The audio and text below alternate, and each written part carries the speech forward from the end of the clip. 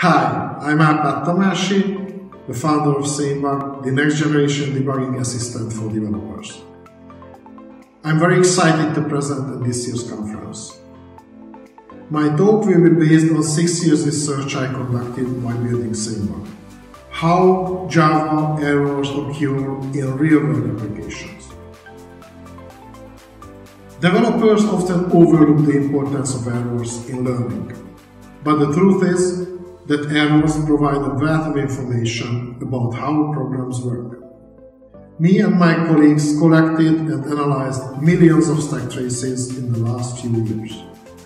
You will hear about error structures, what makes stack traces similar, how your favorite libraries perform on the bugginess scale, and much, much more. So attend my talk and let's get excited about errors together.